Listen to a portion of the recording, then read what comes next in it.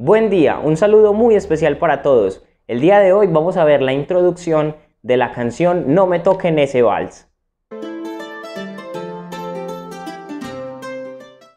Para tocar la introducción de esta canción utilizaremos los acordes La menor, Mi mayor y Re menor. En el siguiente orden, dos veces La menor, cuatro veces Mi mayor, dos, tres y cuatro. Luego hacemos cuatro veces La menor, una, dos, tres y cuatro. Luego dos veces Re menor, una, dos.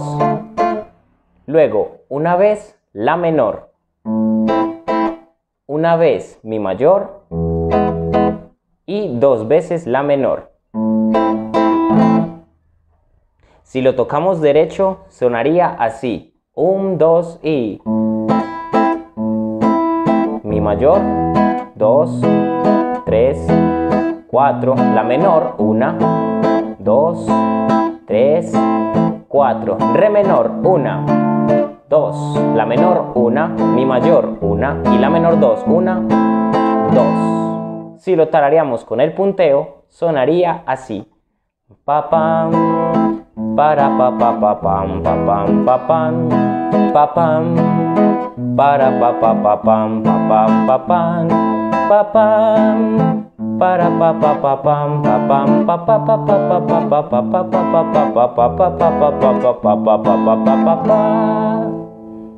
Ahora les queda a ustedes estudiarla en casa. En la próxima clase veremos la estrofa. Mientras tanto, recuerden cuidarse mucho y nosotros nos vemos en el próximo video.